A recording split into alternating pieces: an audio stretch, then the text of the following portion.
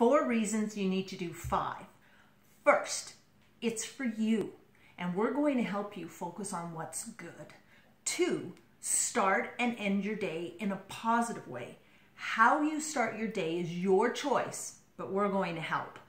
Three, we are always modeling for our children. Remember, kids learn what they live. And four, consistency is the key to all parenting.